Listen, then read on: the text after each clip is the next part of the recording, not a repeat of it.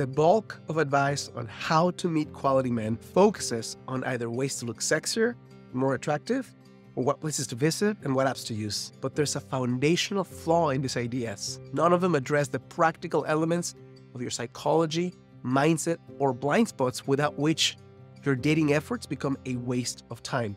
So today, I'm revealing the seven best ways to meet better men that you're not thinking about but can make a night and day difference in your ability to attract the guy you want much faster.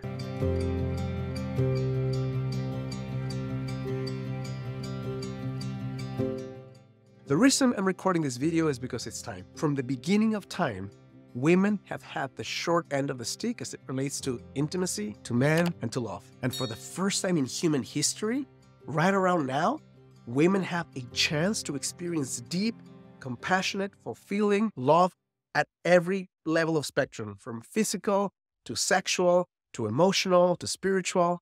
And this wasn't the case a century ago. This wasn't even the case a few decades ago. I'm sharing this message with you right now because even though you might be finding yourself in an ocean of guys who don't seem to give you what you want, there is a way for you to meet better men. And this way doesn't center around you changing your looks or becoming younger, but about you understanding some practical elements that can make it easier and faster for you to meet the type of love that the people in your generations before you didn't have a chance to experience. I tend to think that many women today are standing in the shoulders of giants.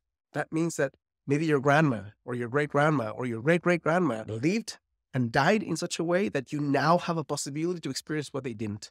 So we owe it to ourselves to go for more, to not let the life experience that you want in terms of love to go on experience because you had the feeling that you couldn't get what you wanted. I'm here to tell you that there's a strategy and a way, and I know this based on hundreds of clients experiencing this, where you can be the exception rather than the rule.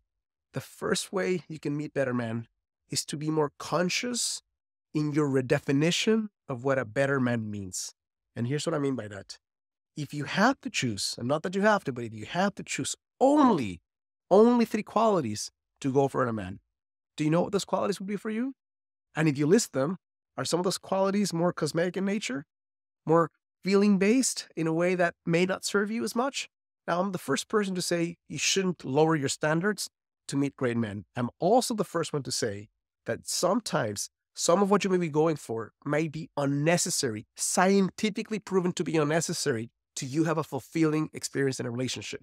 And I'm talking about if those three things include a level of income, and maybe physical attributes, uh, you can go for those things, but you might be severely limiting your experience of a guy. My recommendation is when you redefine what you really want, is that you choose character and substance and emotional traits over physical or chemical traits that I'll go into in a second. The second way to meet better men is to lower what I call the IEC intimacy expectations for chemistry. So here's what I mean by that. I think that it's fair to say that you have an expectation of the level of passion and excitement and spark that has to happen for you to say, Yeah, I'm willing to risk it with this guy. And that's not a problem.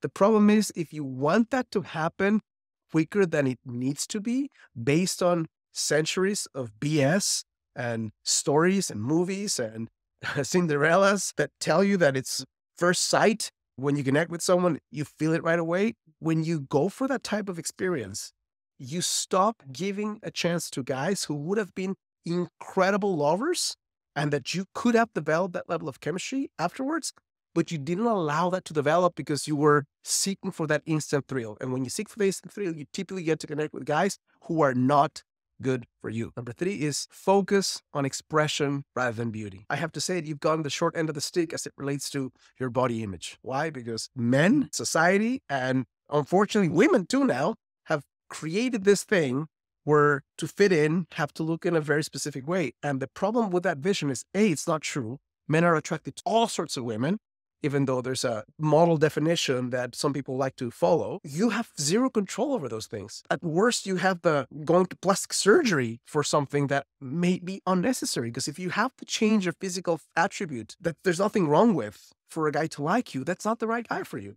So you have much more influence and control over the way you express yourself. If you focus on expression, if you focus on your light, if you focus on the expression of your light, which is radiance, if you focus on that and not on beauty, not on age, you stand a chance to A, feel far more confident in your ability to get what you want, feel more resonant to more men.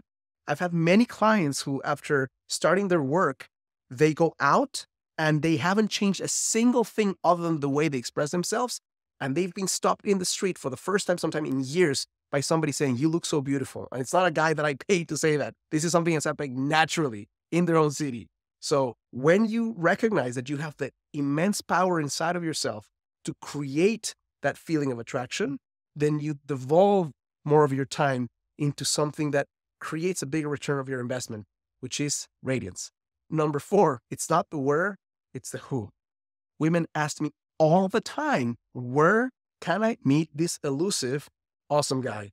And my thing is, who is the I who's going to go out to meet this guy? So, granted, at a high level, there's going to be better places than others to connect with men. But the truth is, you can connect with men at the laundromat, you can connect with men at the bank, you can connect with men at the grocery store, you can connect with men at the rock climbing gym, at the movie theater. There's so many places to connect with guys. But the problem isn't necessarily just where to meet them, is what version of you is meeting them? Is it the you that is open and radiant and exciting and playful and confident, initiating conversations? Or is it the version of you who is more shy and doesn't make eye contact? And when she sees a guy who is really attractive, plays hard to get, what version of you is going out there to connect with men? It matters. When you train your nervous system to be on the lookout for opportunities, then you can create many more openings than you ever thought of. Now, before I share my last eight points, which are really practical and useful, if you're a single woman watching this, you're not fully aware of why you're still single, you can't understand why you're still single. I've created a quiz after 13 years of helping women find love when they hadn't before we worked together and put it together in something very simple that will reveal to you the number one reason you're still single. If you want to participate, all you have to do is go to the first thing in the description. You're going to see a page that looks like this. Answer a few simple questions, and in 60 seconds, you have two things answer to the elusive question why you're still single, and a custom report that's going to share for your specific blind spot what's the number one thing you can do starting today to attract the guy you want in a fraction of the time. Now, the fifth way to attract better men is to make the first move all the time. What is the first move? Eye contact. What is the first move? Smiling. What is the first move? Maybe asking a question. When you are the kind of woman who is willing and eager and generous in dropping the handkerchief and making sure that the guy that she's interested in knows that she's available. You're not saying I'm needy. You're not saying I want to be your girlfriend. You're saying I'm open. I might say yes if you ask me correctly. When you have that attitude inside of you and you make openings, you create openings everywhere you go, then you have unlimited opportunities to meet men who might be higher quality. Am I saying that every guy you connect with will be high quality? No. I'm saying that when you take the next step, which is point number six, ask better questions, you'll find out. The biggest difference between a great first date and a shitty first date is the preparation. And here's what I mean by that. If you connect with a guy and you ask great questions and you take the time and lay the boundary of I need to connect with you on video first before I see you in person. And if the guy doesn't want to do that, you say no. And if the guy says yes, then you meet him on video, which means you can see his face, you can see his facial expressions, you can see the way he connects, you can see the way he asks questions. You can gauge a lot more. I'm not saying you can need to check for that spark in that first call, but you can check for some things that would have been blatant red flags if you only talk to the guy on the phone or if you only text on the app. So when you see the guy and you ask great questions and you qualify, guess what happens? You either move to the date, which will be a much better date after qualifying properly, or you say no thanks, which means you have fewer dates, but the ones you do have are better quality. The last way for you to connect with better men and find your guy much sooner is to use all the tools available at your disposal. And what I mean by that is be creative. You have friends who know guys. You have networks of people where there's awesome guys you have apps you can use who have great guys. And here's the biggest kick I get of apps. Many women tell me that apps don't work, and it's BS. They do work. There's so many women who are getting married after connecting on an app. Is it easy to connect on an app? No, it's not, but it's doable. If you learn how to use apps, that's one of the benefits of coaching. You learn the mindset and the practical strategies of using apps, but you can make apps work for you versus being used by apps. I hear women who say, oh, the guy I want would never be on an app. And I think that's insane. It's like saying the person I want to hire for a job would never be on LinkedIn. It's ridiculous. Why not? It's a network of human beings who are interested in connection. Now, am I saying all the guys are on apps? No, but many guys are on apps. And if you learn to use them properly, you can make something work. Now, that's just one of the tools.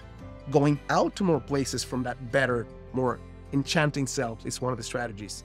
Connecting with friends is one of the strategies. There's many things you can do to connect with guys, but if you use more tools, you can exponentially magnify your reach. If you only use one, if you only use app, for example, or if you only use organic connections, then you can take a lot longer to get what you want. Hope this is helpful and useful. If it is, it would mean the world to me and to my channel because this is how I reach more women. If you could like and subscribe, if you see someone who needs to hear this, please send it their way. And if you want to continue learning how you can attract the guy you want without the need for gimmicks, manipulation, games, or stupid techniques, make sure to go to the next video right here.